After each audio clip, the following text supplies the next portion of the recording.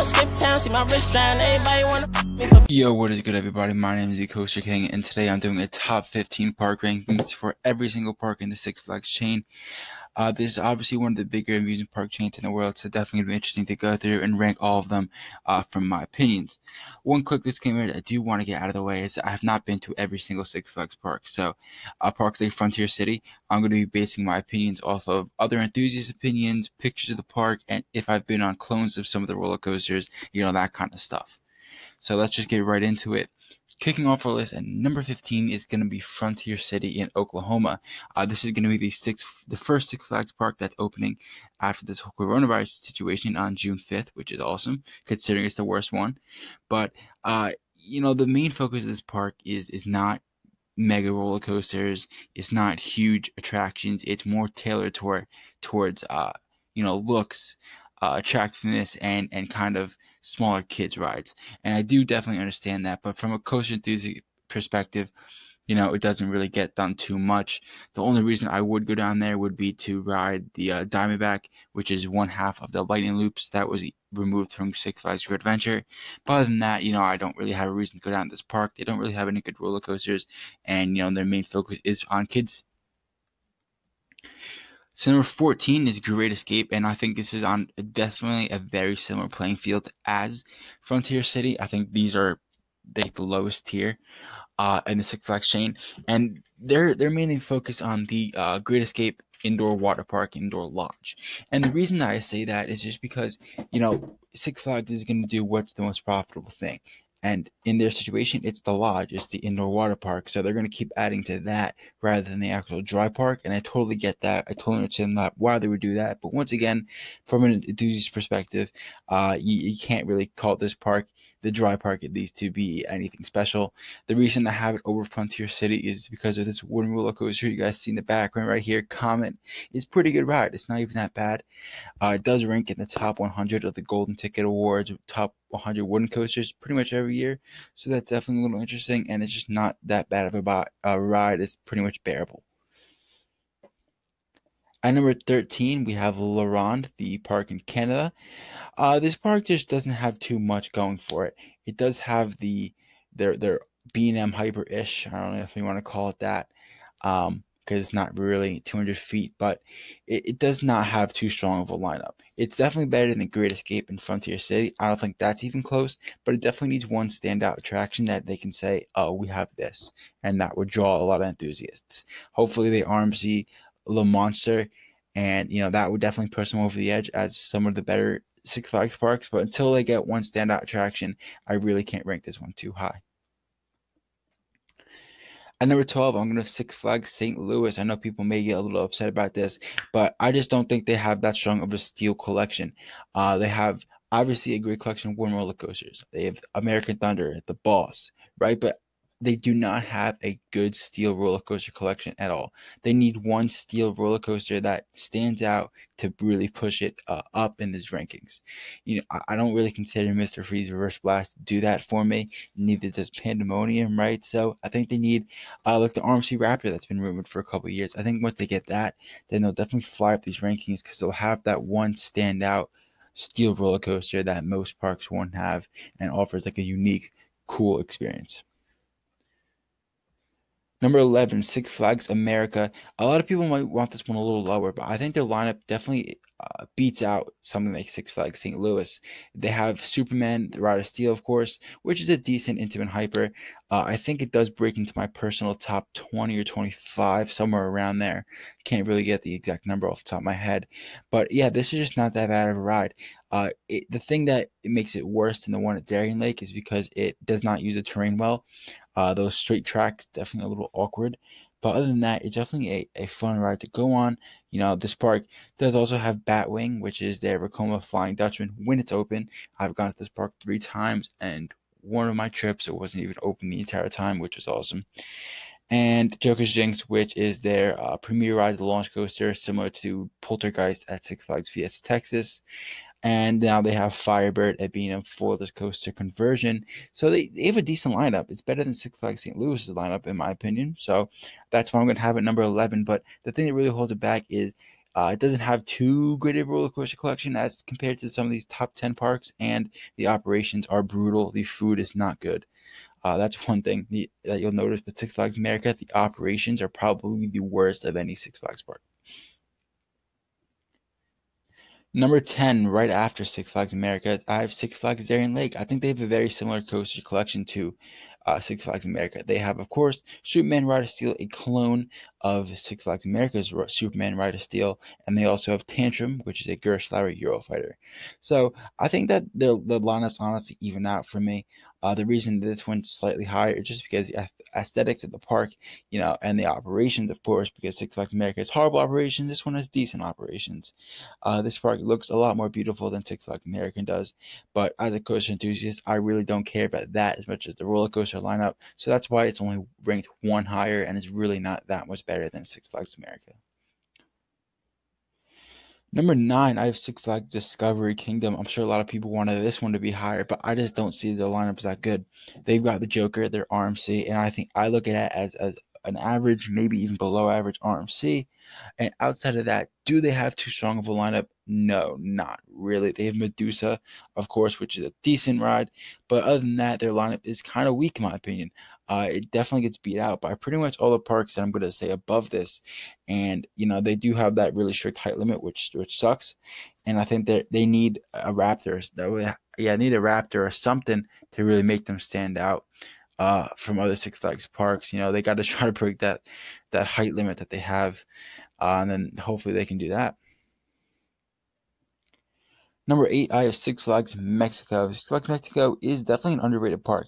They do have Medusa Steel Coaster, which is the RMC, which, from what I've heard, I have not gone to this park. This is one of the ones. Uh, it's actually very underrated. People like that a lot, and I think it's an above average RMC. You know, that's like a rare credit, so not too many people have gone on it, but people definitely like a Medusa at Six Flags Mexico. So I definitely want to uh, throw this up there in the rankings, and of course, they have Superman Ultimato Escapo I don't know if that's right. Whatever. Uh, which is a, a decent ride. It's a decent hyper and you know definitely an underrated park in general. Uh, one thing I do love about the park is the aesthetics, but once again, I'm an enthusiast. I don't care too much about it, but uh, it does affect the rides with the theming and everything, so that definitely helps out some of the rides and pushes their lineup over one that I would consider similar to like Discovery Kingdom. Next, getting to the upper tier parks in the chain, I have Six Flags Over Texas at number seven. I haven't gone to this park. I did enjoy the park a lot. Uh, New Texas Giant was decent. I think it it's a below average RMC. Of course, of course, it's the first RMC conversion, so it can't expect too much out of it. Uh, the ride did get a little slow on the last the last like, little lap there, but other than that, the ride was decent. Uh, really stood out in the park. Uh, Titan sucks gonna leave that right out there. Titan is not a good ride, and Shockwave is definitely a fun ride. Schwarzkopf uh, Looper.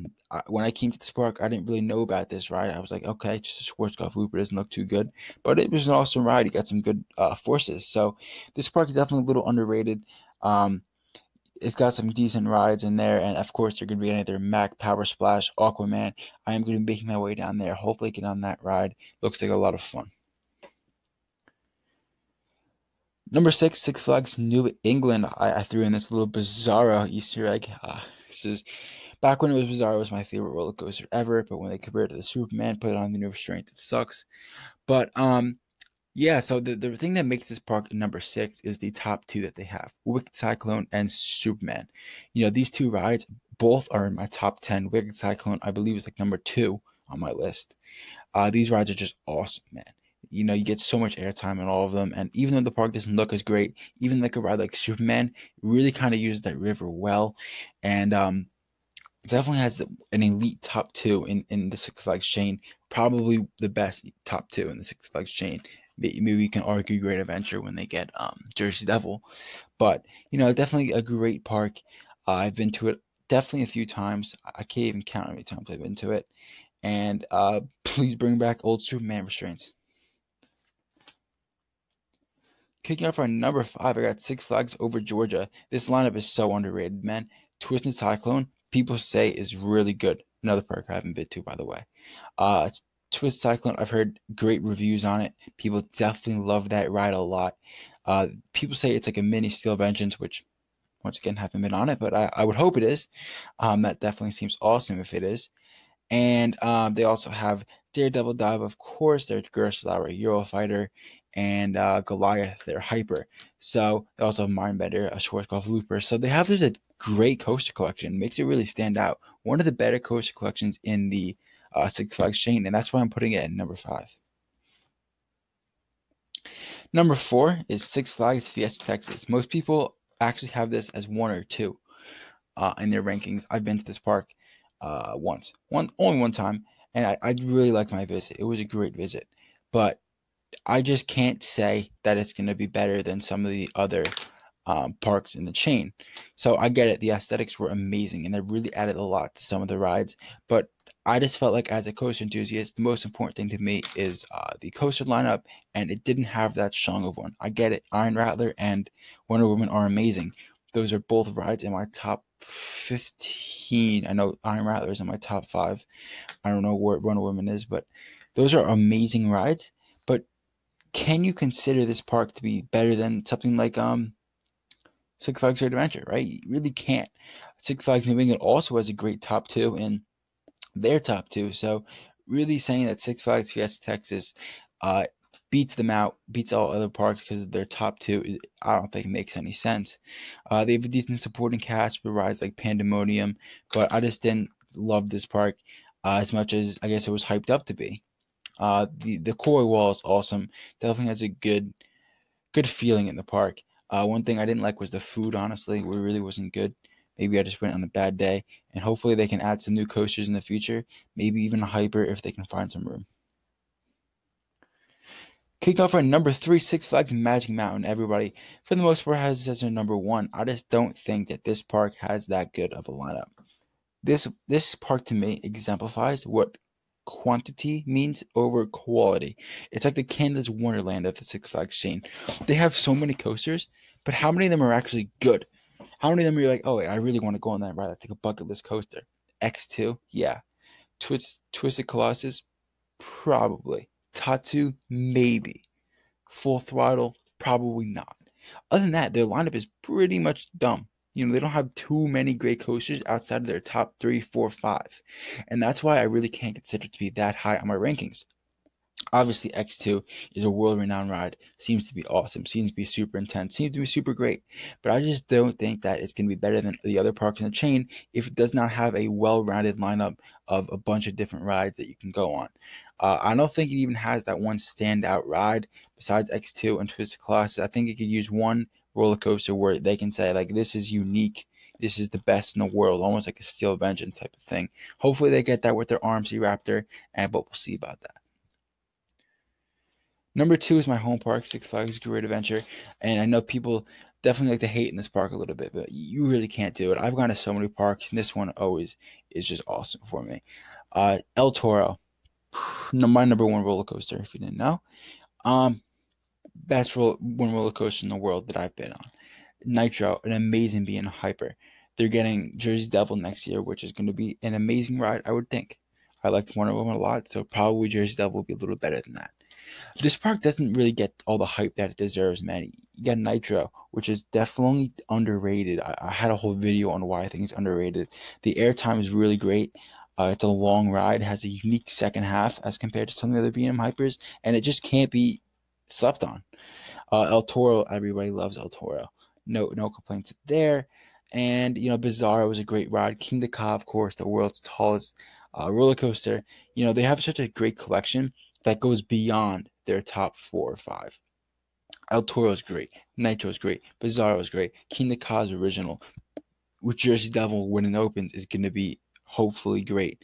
You know, they got so many rides that you can go on, and um, that's what I think makes it better than Magic Mountain. That they have a better. If you look at the top five of Great Adventure and look at the top five of Magic Mountain, which one are you picking? I'm picking Great Adventures probably. I mean, realistically. And taking the number one spot is going to be Six Flags Great America. Uh, the reason this this park really is number one for me is because I think their coaster collection is honestly one of the, the best in the Six Flags chain. I know they don't have as many coasters as Great Adventure or a Magic Mountain, but I think their coasters are all amazing. So, starting up with Goliath, of course, their RMC conversion.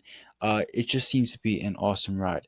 Uh, this ride does get average reviews in the public as compared to other RMCs, so I'm going to consider it to be an average RMC, something like Twisted Colossus or uh, maybe like a Wicked Cyclone, maybe, you know, like an average RMC. That's what we're considered as. Then you go to Raging Bull. Of course, they're huge hyper that everybody raves and loves. Um, Raging Bull is often seen as one of the best hypers in the world, so definitely want to give that a lot of props. You know, that has a that's a great ride, and definitely no complaints there. Then we go to X Flight there being a wing coaster and the only wing coaster in the Six Flags chain. This ride is really underrated. It, it, looks like a lot of fun and offers a unique experience as compared to some of the other Six Flags parks.